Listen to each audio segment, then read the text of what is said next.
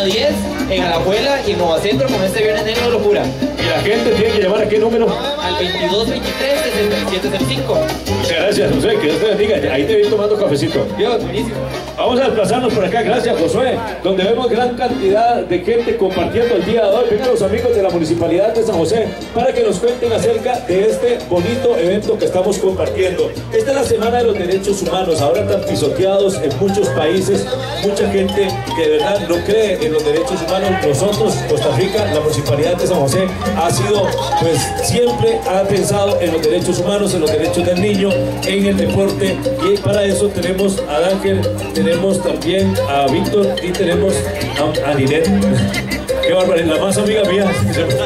Linet, regidora de la Municipalidad de San José, vamos un poquito para acá, porque estamos muy informales, la lluvia y ¿verdad? para que la luz nos pegue. Cuéntenos cuál es la experiencia que hemos tenido esta semana, de qué se trata.